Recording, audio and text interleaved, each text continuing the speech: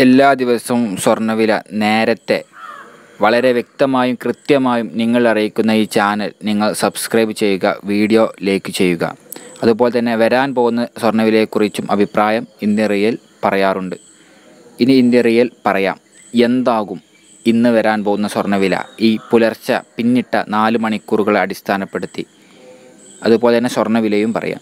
ഇന്ന് സ്വർണവില ഇതുവരെയുള്ള ഈ പുലർച്ചെ നാല് മണി വരെയുള്ള വിപണി അടിസ്ഥാനപ്പെടുത്തി പറയുമ്പോൾ സ്വർണവില കൂടുന്ന ഒരു ട്രെൻഡ് ഇതുവരെ കാണിച്ചിട്ടില്ല.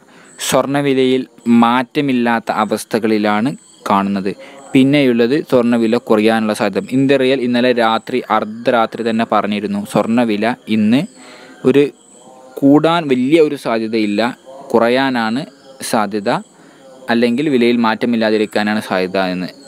എന്നാൽ പോലും ഉറപ്പിക്കാനായിട്ടില്ല. ഒൻപത് മുക്കാലിന് ഔദ്യോഗികമായി സ്വർണവില പ്രഖ്യാപിക്കുന്നതിന് മുമ്പ് ഇന്ന് റിയൽ ഒരു വീഡിയോ കൂടി ചിലപ്പോൾ ചെയ്യും.